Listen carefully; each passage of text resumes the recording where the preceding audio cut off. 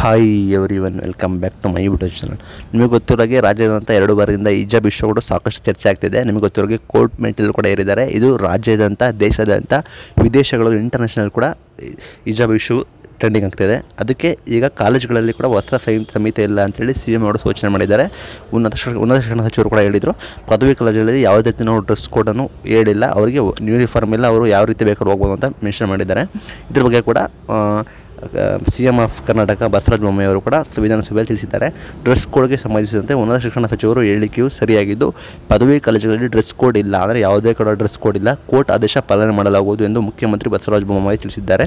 ಬುಧವಾರ ಬಂದ್ಬಿಟ್ಟು ಪ್ರತಿಪಕ್ಷ ನಾಯಕರಾದ ಸಿದ್ದರಾಮಯ್ಯ ಸರ್ ಅವರಿಗೆ ಉತ್ತರ ಮಾಡಬೇಕಾದ್ರೆ ಕಾಲೇಜಲ್ಲಿ ಯಾವುದೇ ರೀತಿಯ ಡ್ರೆಸ್ ಕೋಡ್ ಇಲ್ಲ.